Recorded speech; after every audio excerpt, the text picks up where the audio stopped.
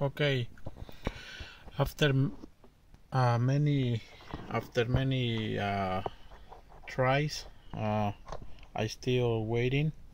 And in this time he asked to tell him in what if I can see my position on the list. And when I go to iTunes I cannot see my position. But I do this. Hopefully you can see there. Number 23 so I already tweeted him my position and supposedly I'm on on the 50 on the 50 batch because the he he stated that he's going to do a a batch of 50 so thanks to this guy I'm going to be able to use my iPad.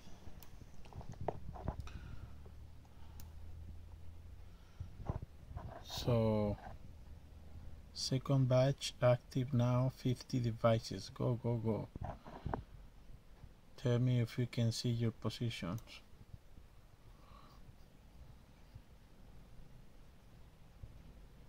it says why don't you read my fucking tweets? This is the last batch. Probably he he replied to someone. So there you go. There you go. There you go. We have we have bingo yes. It worked. See? Thank you mina chris. Yeah.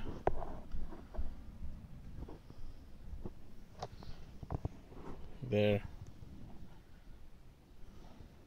Now I'm gonna get my picture to to to tweet it to him so he will post it on on on uh, on the on the Twitter. So thank you for watching and and yeah this guy is is the best.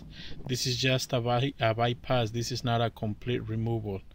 So that means if I if I uh, you know erase the iPad I'm gonna get stuck on the on the on the iCloud and the lock uh, the iCloud lock screen screen again so yeah it worked